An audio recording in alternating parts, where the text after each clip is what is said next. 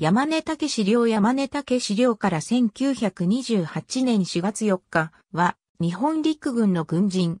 最終階級は陸軍中将。貴族院議員、男爵。勲一等受賞。長州藩士、山根周平の次男として生まれる。明林館で学び、警視庁巡査を経て、1875年2月、陸軍士官学校に入学。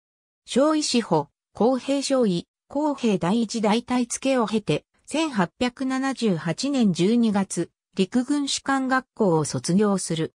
参謀本部出資、参謀本部官西局、新国左県、ドイツ駐在、ドイツオーストリア留学、公平第一大隊長、参謀本部第一局員などを経て、日清戦争に第二軍兵隊参謀長として出征した。続けて、台湾兵艇に臨時台湾鉄道隊隊長として従軍。第六師団参謀長、第十二師団参謀長などを歴任し、1900年4月、陸軍少将に進級。佐世保要塞司令官、新国駐屯軍司令官、新国公使官付、参謀本部付などを経て、日露戦争では臨時軍用鉄道官として出征し、二川で任務を遂行した。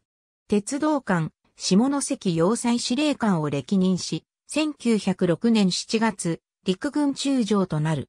第8師団長、第12師団長、近衛師団長を経て、1915年2月、交尾役に編入。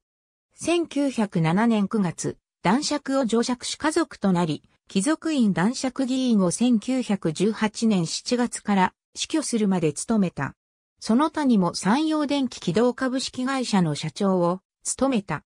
ありがとうございます。